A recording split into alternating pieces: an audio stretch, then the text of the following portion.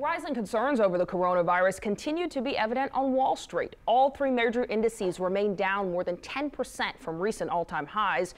And joining me now to talk about what this all means is James Spiro. He's a financial advisor and managing director with Morgan Stanley. Thank you so much for joining us this morning. It's my pleasure. Thank and you. this seems to be one of the conversations. Everybody's talking about coronavirus, the health impacts, but also the financial impacts. I already saw this morning that futures are showing signs of a bounce back. Is mm -hmm. that what we're going to see today?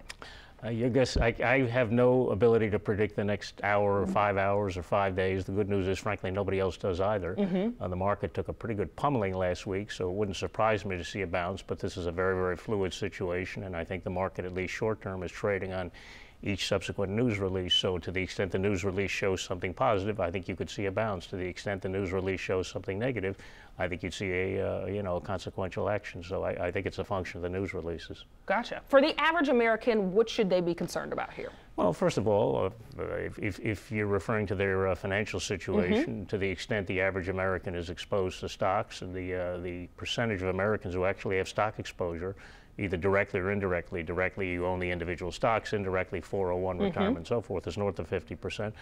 Uh, that person has probably seen a diminution in his or her portfolio. But again, I try to remind people when you own a stock, you own a piece of a business. And uh, businesses hit rough spots, and uh, generally they come out of them if they're well constructed businesses. And if the stock is a good one and you've done your fundamentals and the person uh, either acting on your behalf or on your own behalf, you've thought it through properly, then that's probably not a reason I would panic, but uh, probably over the last several days you've taken a bit of a hit. And so if you have a 401k for now, you should do nothing, right? Well, each person's situation is different. Mm -hmm. People may be at different points in their lives and different risk tolerances and so forth. So it's something that should be monitored. But if you're asking me in a broader sense, mm -hmm. would the mm-hmm. last four or five days cause me to completely reconstruct my portfolio? It would not. Gotcha. Leave things as they are. And so a lot of investors are saying that they want to see the Feds cut interest rates, even though they're already at historic lows. Is True. that something you think we'll see or would even be helpful?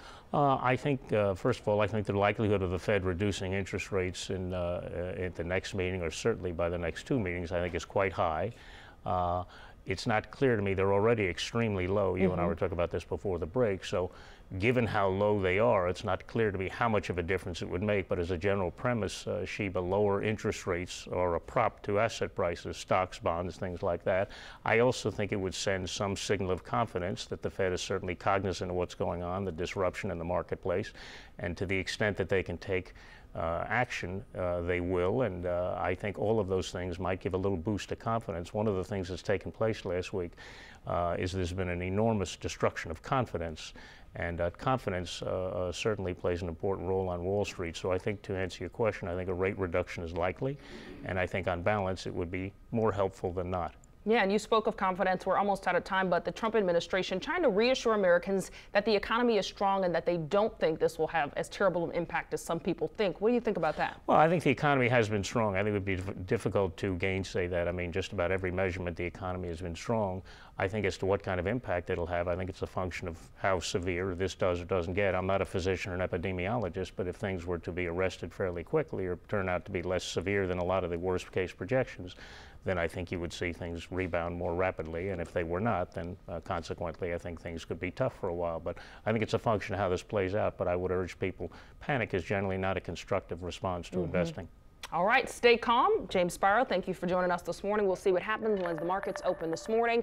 We have entire sections of our app and website dedicated to updates about the coronavirus. A quick way to get there is by texting the word virus to the number on your screen. That's 504 529 4444. And after you send the text, you will get a reply with a link. Your phone's carrier message and data rates will apply.